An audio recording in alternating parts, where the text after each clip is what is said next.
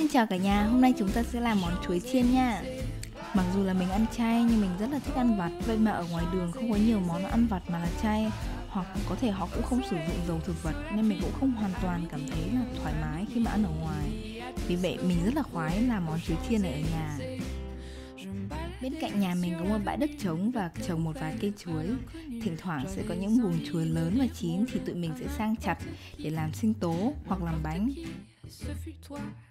Khi chặt buồng chuối thì chuối còn xanh, nhưng chúng ta nên đợi cho tới khi chuối chín già thì chiên mới ngọt. Để làm bột chuối chiên, chúng ta cần những nguyên liệu sau đây.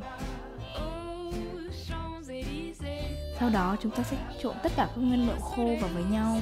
Có bột mì này, bột gạo này, đường, một muỗng bột nghệ và một muỗng muối.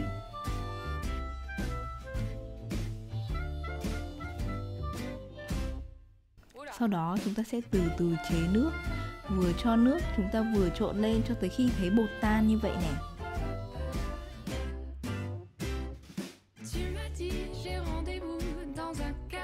Sau đó chúng ta nên để cho bột nghỉ một chút xíu.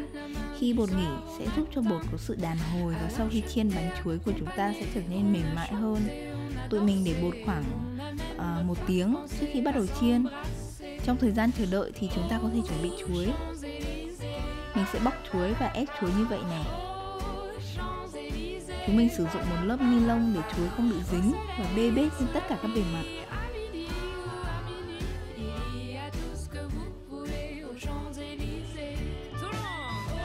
Khi đã ép tất cả các quả chuối thì chúng ta có thể bắt đầu công đoạn chiên chuối. Wow, sắp được ăn rồi. Để chiên chuối cho ngon.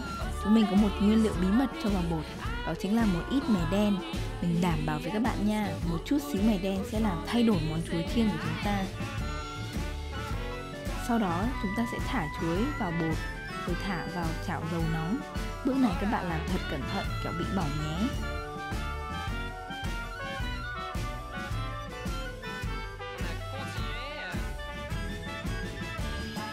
Và cuối cùng thành quả của tụi mình đây.